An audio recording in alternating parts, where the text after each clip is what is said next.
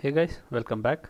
In this video we are going to see how to add the static files in our project. So by static files I mean to say the CSS JS and images folders in our project. So let's get started. So first we'll open a project run the project php artisan serve enter and we'll check the output like we had stopped in the previous video.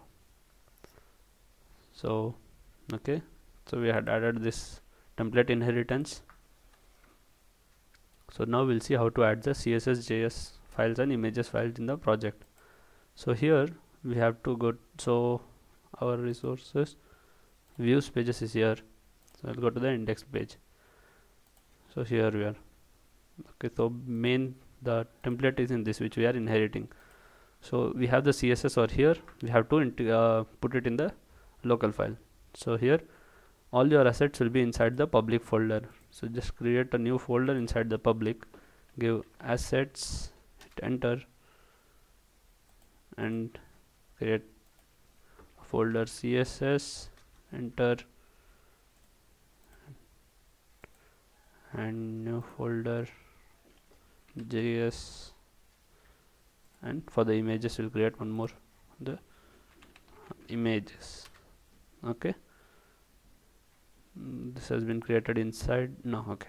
So now let us just copy this link. Copy go to google chrome paste this link over here. Copy the css from here control ac and paste it inside your css folder create a new file. Bootstrap.css so inside bootstrap.css just paste the whole css over here. And now make one more file here for the custom css whatever we want to give custom. So create new file give custom dot css okay hit enter.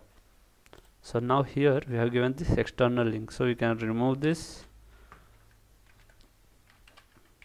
and just remove this whole thing. Close. Okay so we are giving link. It is a style sheet. And here just within double curly braces you have to give uh, set function. That's the function called asset to call all this. So give within asset function give the directory inside the public folder. So I will show you. So open the public folder. We need to go inside the assets folder here. So type assets here.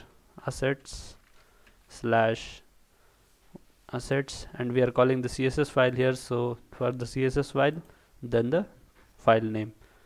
So here we'll give css slash bootstrap dot css okay so now we'll copy and paste the same thing for custom css so now for the jquery also it's the same way.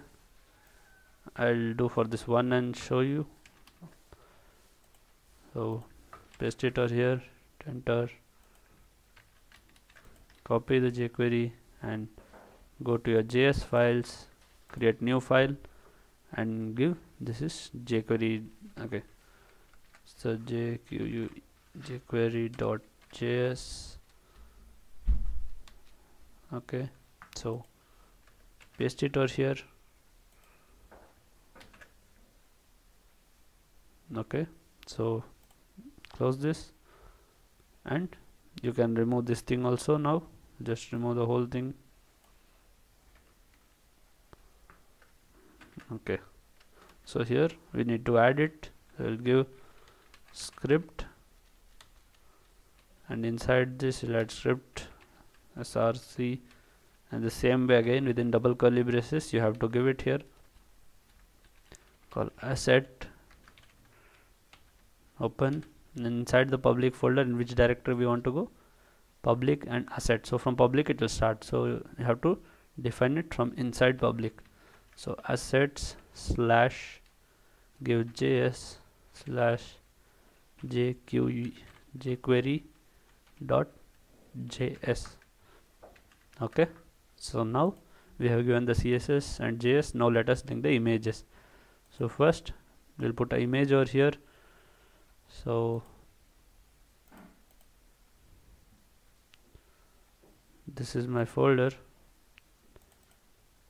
Open go to public assets images and I have an image on my desktop so I'm gonna pull that here. Uh, just pull it and leave it over here. Okay. So Sharma Coder logo I just make it small give logo.png okay. So now let us call it in our navbar so here it is navbar navbar okay. Navbar brand is here. I'll remove this put img give source again double curly braces. Within the double curly braces you have to call your asset function. Asset and give assets slash images slash logo dot png okay? That alt alt text here. So here image here. For those who don't know what is this alt tag if the image is not available this alternate tag will be shown over there. Whatever we give a message here it will be shown over there. So now let us close this and reload the output so the css is loading the image is too big. So we'll just uh, make it small in the custom css so this way we can test our custom css also if it's working or not. So let's give a class here. Class equal to logo. Copy it. Go to the custom css paste the class name. And just give width oops. Width this will keep uh, 120 px now let us reload the page. Okay you see it has become small over here.